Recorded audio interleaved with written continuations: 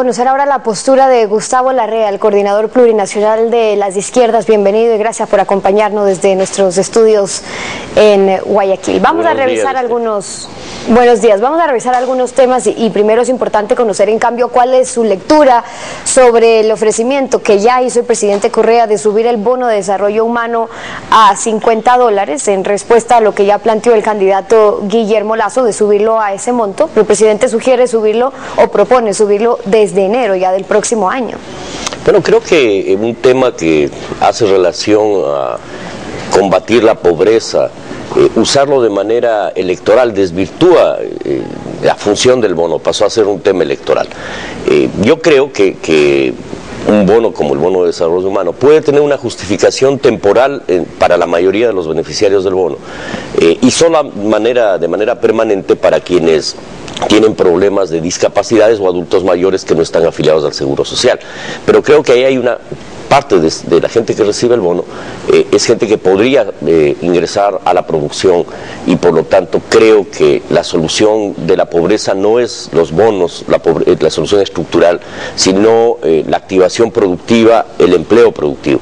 Y creo que a eso había que apuntar desde hace seis años y lamentablemente el gobierno hizo permanente el bono en vez de hacerlo transitorio. Creo que ahora jugamos, juega la escena política en, una, un baratillo de ofertas electorales donde hay candidatos eh, o precandidatos que salen al escenario a ofrecer quién da más en este baratillo de ofertas y entonces, a su juicio, no es una medida técnica, sino más bien política, estratégica o clientelar. Y sobre eso último, el mismo presidente de la República lo reconoce. Escuchemos.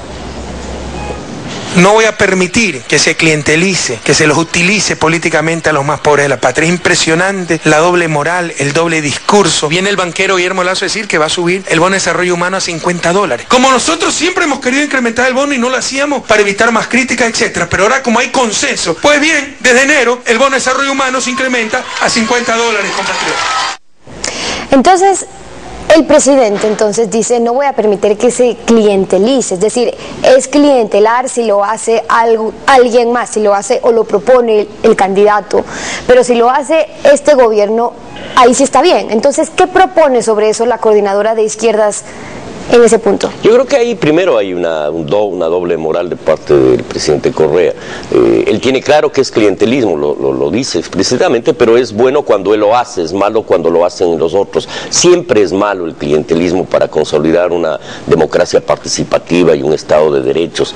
Y creo que la propuesta nuestra apunta primero a mantener el bono hasta que el Ecuador logre reactivar la producción y la generación de empleo. Algo que se debió hacer desde hace muchos años atrás, que es sembrar el petróleo, invertir el petróleo en multiplicar la producción, en fortalecer las 840 mil unidades de producción agropecuaria que existen en el Ecuador, en fortalecer la producción artesanal, industrial, comercial, de servicios, de turismo. Ahí habrá solución estructural del problema y no solo un maquillaje a la pobreza, que es lo que ahora vivimos. Pero hay algo en particular de esto, y es que el planteamiento del gobierno o del presidente eh, es desde enero, es decir, mes y medio antes de las elecciones se subiría el bono a 50 dólares, y estamos hablando de casi 1.900.000 personas que son beneficiadas con el bono. Eso representa casi el 20% del electorado, entonces yo les pregunto a ustedes cómo ven, cómo puede incidir eso en las próximas elecciones. El, objetivo, desde luego, del presidente Correa es que eso incida determinante en su, a su favor. Eh, y, en, principio eso parecería que puede ser así. Sin embargo, creo que hay que desarrollar una campaña con las organizaciones sociales, en cada uno de los sectores populares, en los barrios, en el campo, esclareciendo que la salida al problema de pobreza está en la producción y no simplemente en recibir dádivas. Y que los bonos hay que mantenerlos hasta que logremos producción. Creo que es demagogia electorera lo que estamos viendo. Es eh, una demostración clara de que aquí no hay un compromiso estructural por solucionar el subdesarrollo y la pobreza, sino una visión populista y clientelar de parte del jefe de Estado.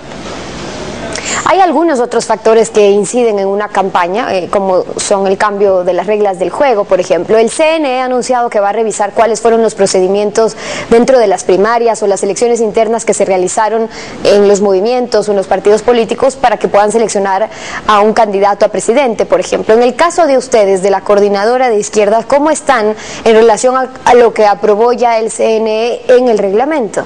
Nosotros teníamos, hicimos nuestra convención de selección de Alberto Acosta como candidato presidencial de la unidad y la unidad va a tener una convención el día sábado 27 de octubre en la que designaremos el binomio que, irá a las próximas elecciones, Alberto Acosta y quien le acompañará en la fórmula.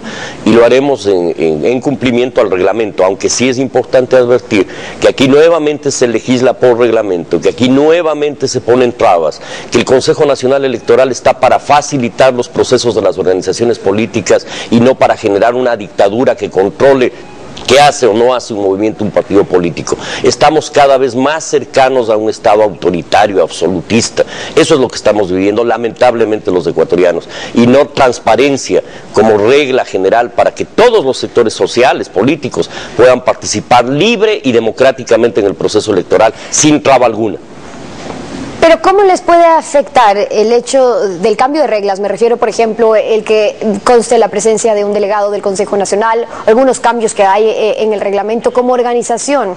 ¿Ustedes eh, cómo organizaron esas elecciones internas en cuanto a la movilización de la gente, lo que es el costo, la organización en general? Lo pregunto por si les toca volver a hacerla. La vamos a volver a hacer. Eh, sí, evidentemente la vamos a hacer el sábado 27 de este mes, precisamente en cumplimiento de ese reglamento, bajo protesta nosotros no estamos de acuerdo, con esa reglamentación, pero sabemos que es una traba para impedir la participación política de las organizaciones y por lo tanto vamos a cumplir ese, ese reglamento espurio, ese reglamento que no representa realmente la posibilidad de hacer política sin, eh, sin cortapisas, sin barreras, sin bozales, que es lo que nos están imponiendo desde la función electoral y también desde el Ejecutivo.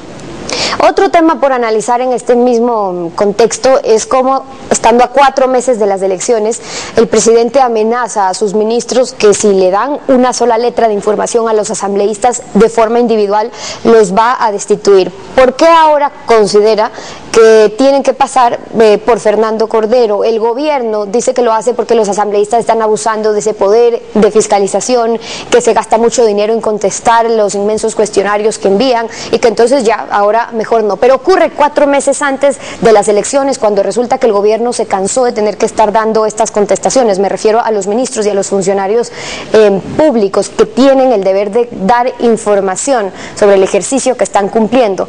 Pero ¿cómo puede cambiar cuatro meses antes de una elección y que se dé una disposición como esta?